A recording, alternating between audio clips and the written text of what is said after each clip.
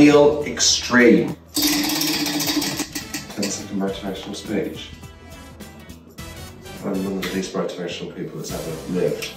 Look at me, be the opposite.